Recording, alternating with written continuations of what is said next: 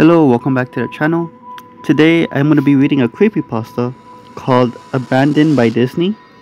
This creepypasta was suggested by Andy Vinicius Vieira.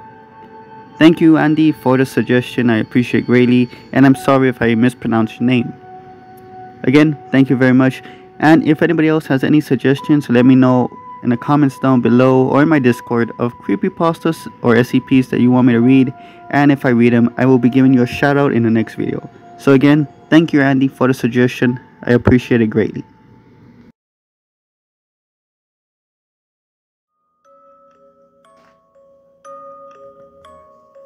Some of you may have heard that the Disney Corporation is, is responsible for at least one real, live ghost town.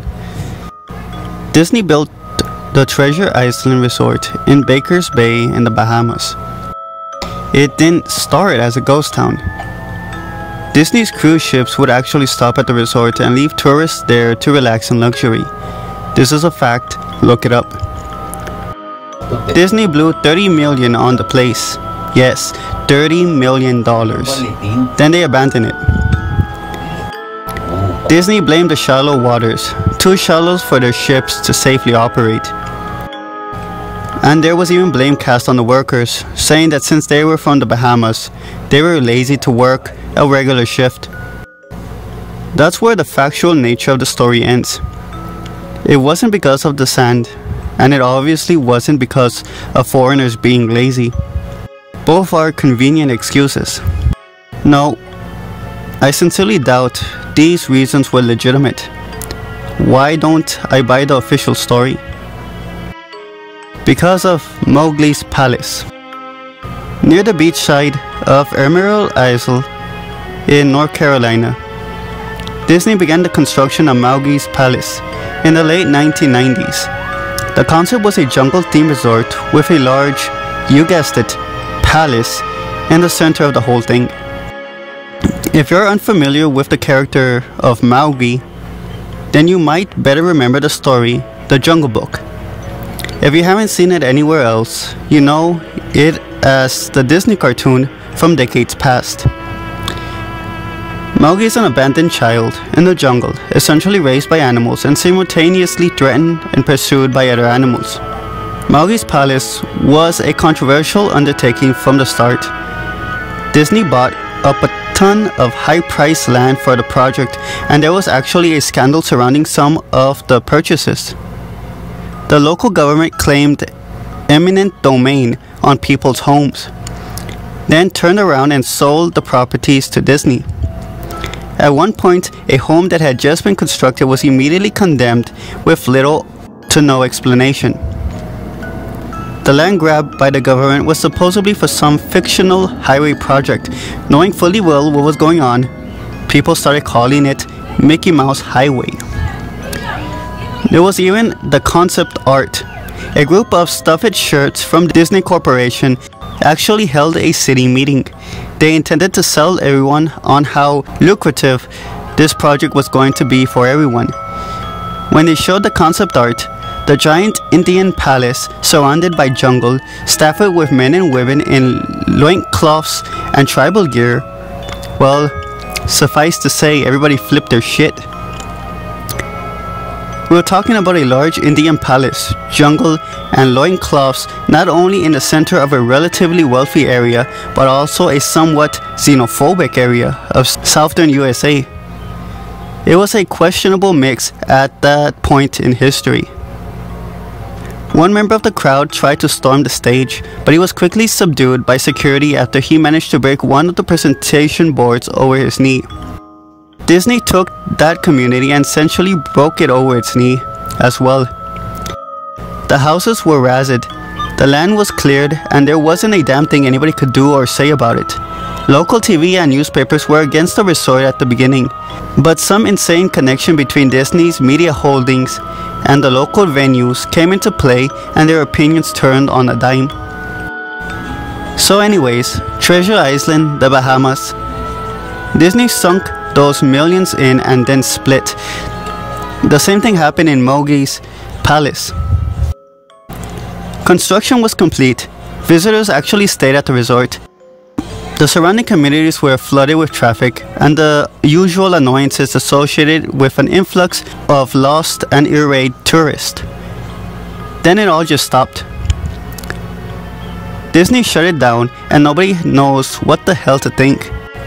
But they were pretty happy about it. Disney's loss was pretty hilarious and wonderful to a large group of folks who didn't want this in the first place. I honestly didn't give the place another thought since hearing it closed over a decade ago. I lived maybe 4 hours from Emerald Isle, so really I only heard the rumblings and didn't experience any of it firsthand. Then I read this article from someone who had explored the Treasure Island resort and posted a whole blog about it all the crazy shit he found there. Stuff just left behind. Things smashed, defaced, probably ruined by the disgruntled former employees who had lost their jobs. Hell, the locals from all around probably had their hand in wrecking the place. People there felt just as angry about Treasure Island as folks here did about Mowgli's Palace. Plus, there were rumors that Disney had released their aquarium stock into the local waters when they closed, including sharks. Who wouldn't want to take a few swings at some merchandise after that? Well, what I'm getting at is that this blog about Treasure Island got me thinking. Even though many years have passed since it closed, I figured it might be cool to do some urban exploration at Mowgli's palace. Take some photos, write about my experience, and probably see if there was anything I could take home as a memento. I'm not going to say I wasted no time in getting there, because honestly, it took me another year after I found that Treasure Island article to get around to going up to Emerald Isle. Over the course of that year, I did a little of research on the Palace Resort, or rather, I tried to.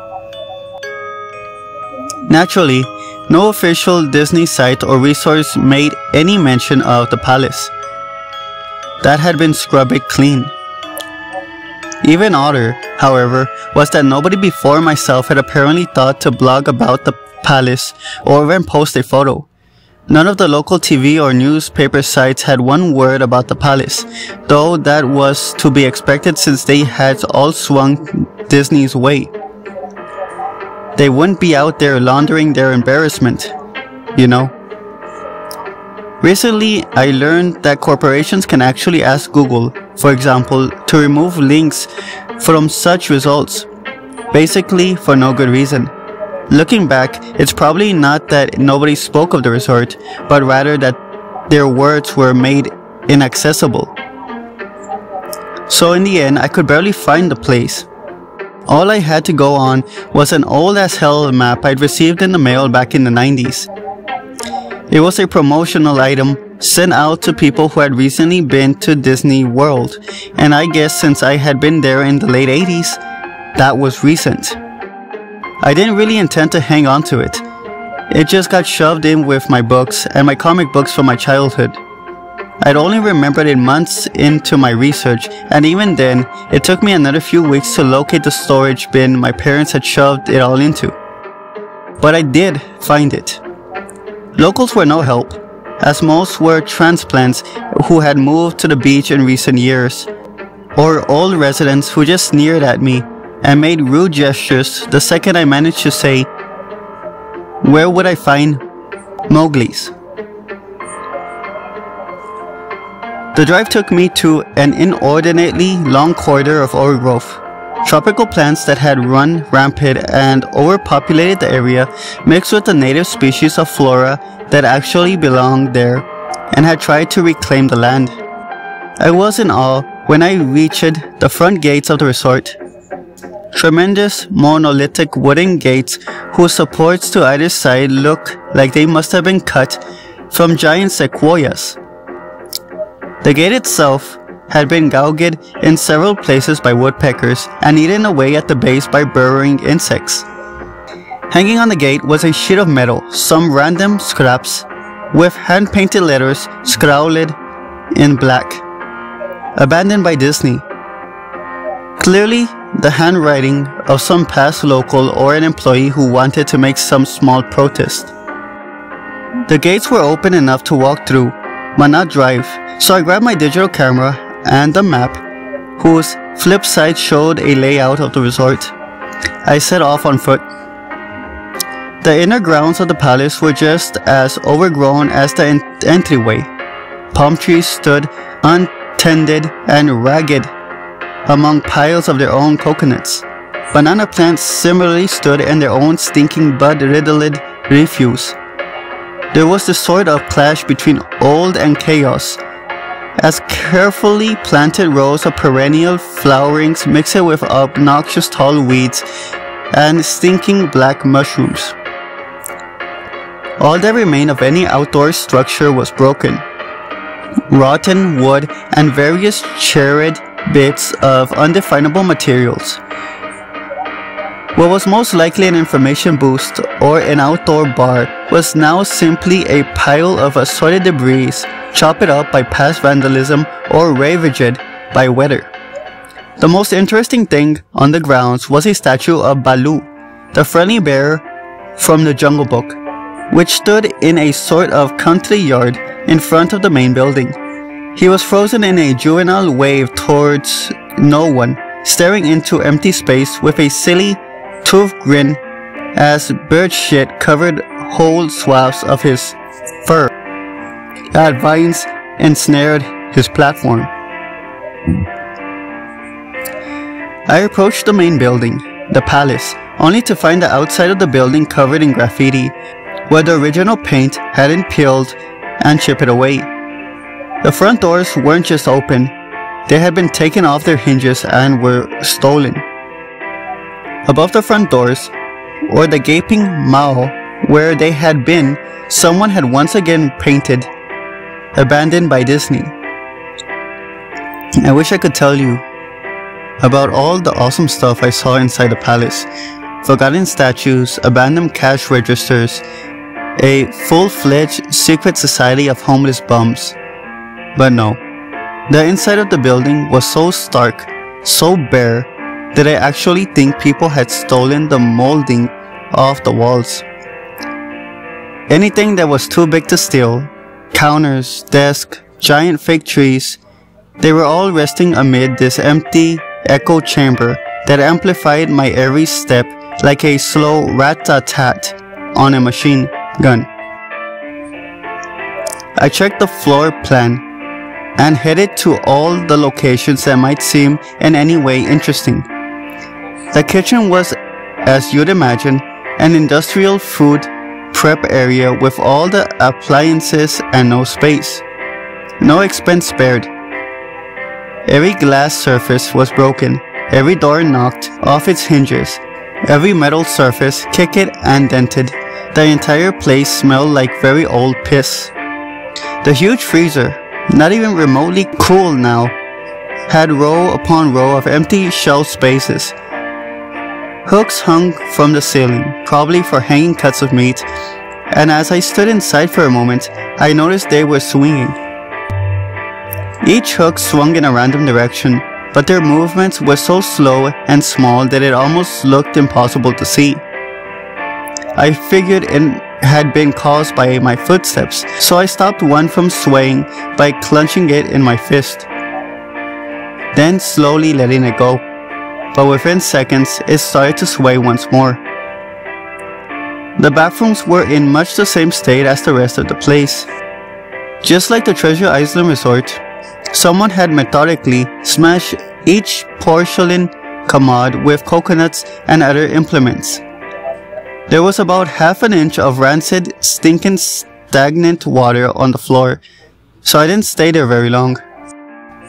What's odd is that the toilets and the sinks, all the bibs in the ladies' room, yes, I went there, all dripped, leaked, or just ran freely. It seemed to me that they should have shut the water off long, long ago. There were plenty of rooms in the resort, but naturally, I didn't have time to look through all of them. The few I did peer into were similarly wrecked, and I didn't expect to find anything there. I thought there was actually a television or radio in one room, as I really think I heard a quiet conversation coming out. Though it was like a whisper, probably my own breathing echoing in the silence, or just another case of the sound of flowing water playing tricks on my mind. This is what it sounded like. I didn't believe it. I didn't know that. I didn't know that. Your father told you. I know, I know, that sounds ridiculous. I'm just telling you what I experienced. Why I thought there might have been something running in that room. Or worse, some vagrants who had holed up there and probably would knife me. At the front doors of the palace again, I figured I hadn't found anything of note and had wasted the trip up. As I looked out the door, I noticed something interesting in the courtyard that I had apparently missed. Something that would give me at least one thing to show for all my troubles, even if it was just a photograph. There was a lifelike structure of a python, maybe 80 feet long, coiled up and sunning itself on a pedestal right in the center of the area. It was almost time for the sun to start setting, so the light fell onto the object in the perfect way for the photograph. I approached the python and snapped a photo. Then I stood on my toes and snapped another. I moved closer to get the detail of its face. Slowly, casually, the python lifted its head looked directly into my eyes, turned it and slid it off the pedestal across the grass and into the trees. About 80 feet of it. It had long disappeared into the woods before its tail even left the sunning spot. Disney had released all their exotic animals onto the grounds. Right there on my floor plan map was the reptile house. I should have known. Read about the sharks at Treasure Isle and I should have known they do this. I was dumbfounded, just utterly stupefied. My mouth must have been hanging open for the longest time before I came back down to earth and snapped it shut. I had blinked a few times and had backed away from where the snake had been, back towards the palace. Even though it was totally gone, I still wasn't taking any chances and backed my way into the building. It took a few deep breaths and slaps to my own face to get myself right in the head again after that. I looked for a place to sit, as my legs were feeling a bit like jelly at this point. Of course, there was no place to sit down unless I wanted to recline in the broken glass and dead leaf carpet or haul myself onto a desk of questionable reliability. I had seen some stairs near the palace's lobby and decided to go have a seat there until I felt better. The staircase was far enough away from the front of the building to be relatively clean, save for the startling amount of dust.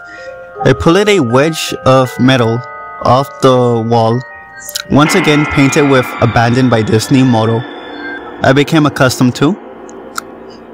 I placed the wedge on the stairs and sat on it to keep at least somewhat clean. The stairway led downward, below ground level. Using my camera flashed as a sort of improvised flashlight, I could see that the staircase ended in a metal mesh door with a padlock. A sign on the door, a real sign, read, Mascots only. Thank you. This perked up my spirits a little bit for two reasons. One, a mascot only area would have definitely have some interesting stuff back in the day.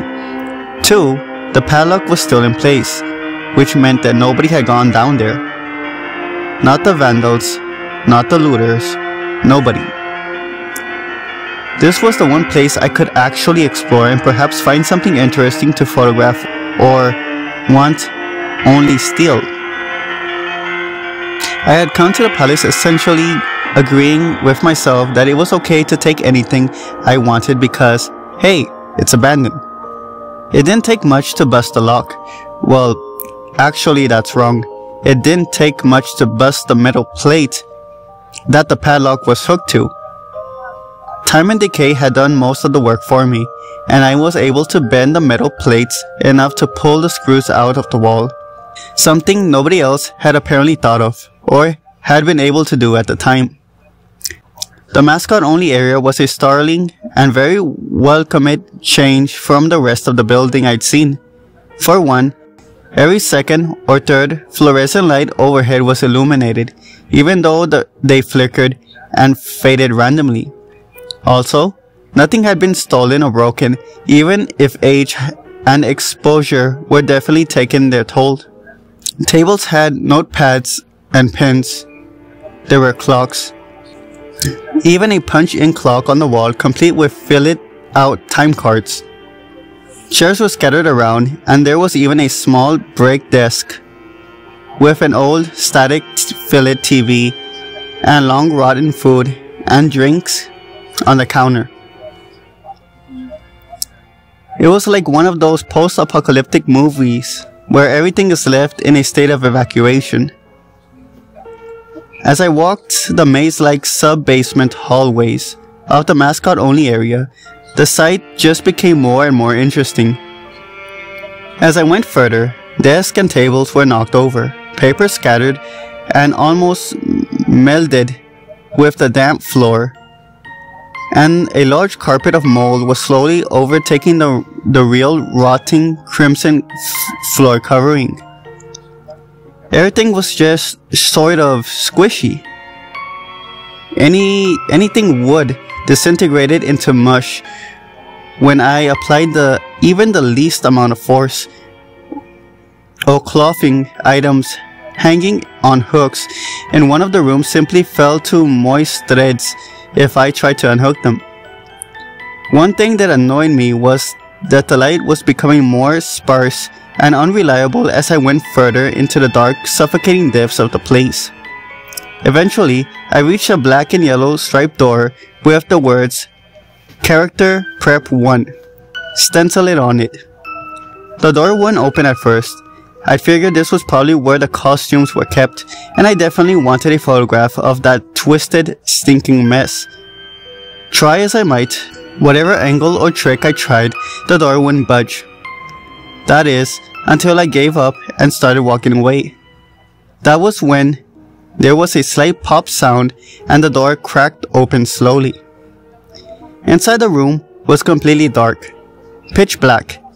I used the camera flash to look for a light switch in the wall by the door, but there was none. As I made my search, I was jarred out of my sense of excitement by a loud electrical buzz. Rows of lights overhead suddenly flashed to life, flickering and fading in and out like the rest I had passed. It. It took a second for my eyes to adjust, and it seemed like the light was going to just keep getting brighter until all the bulbs exploded. But just when I thought the lights but just when I thought it would reach that critical stage, the lights dimmed a bit and steadied. The room was exactly as I had pictured it. Various Disney costumes hanging on the wall, fully put together like strange cartoon cadavers hung from invisible nooses. There was an entire rack of loincloths and native clothes on hangers towards the back. What I found odd, and what I wanted to photograph right away, was a Mickey Mouse costume at the center of the room. Unlike the other costumes, it was lying on its back in the center of the floor like a murdered victim. The fur on the costume was rotten and shedding, creating bare patches. What was even odder, however, was the coloring of the costume. It was like a photo negative of an actual Mickey Mouse. Black where he should be white, and white where he should be black. His normally red overalls were light blue. The sight was off-putting enough that I actually put off photographing the thing until last. I took a picture of the costumes hanging on the wall, upward angles, downward angles, side shots to show the entire row of frozen, putrid cartoon faces some with plastic eyes missing. Then I decided to stage a shot, just one of the bedraggled character's head on the slick, grimy floor. I reached for the headpiece of a Donald Duck costume and carefully removed it so the thing wouldn't fall apart in my hands. As I looked into the face uh, of the wide-eyed, moldering head, a loud chattering sound made me jump with fright. I looked down at my feet, and there, between my shoes, was a human skull. It had fallen out of the mascot's head and shattered into pieces at my feet. Only the empty face and lower jaw remained, staring up at me. I dropped the duck head immediately, as you'd expect, and moved for the door. As I stood in the doorway, I looked back to the skull on the floor. I had to take a picture of it, you know. I had to. For any number of reasons that may seem silly, but only if you don't think it true. I needed proof of what happened, especially if Disney was going to somehow make it go away. I had no doubt in my mind, right from the start, that even if it was gross negligence, Disney was responsible for this.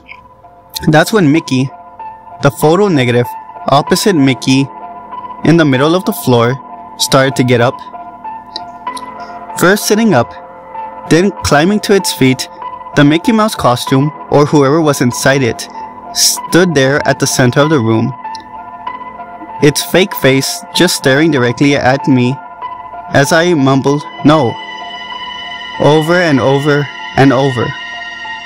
With shaking hands, a violent, thrashing heart, and legs that had once again turned to jelly I managed to lift the camera and aim it at the opposite creature now quietly sizing me up. The digital camera screen displayed only dead pixels in the shape of the thing. It was a perfect silhouette of the Mickey Mouse costume. As the camera moved in my unsteady hands, the dead pixels spreaded, marring the screen wherever Mickey Mouse outline moved to. Then the camera died. I raised my eyes once again to the Mickey Mouse costume. Hey, it said, in a hushed, perverted, but perfectly executed Mickey Mouse voice.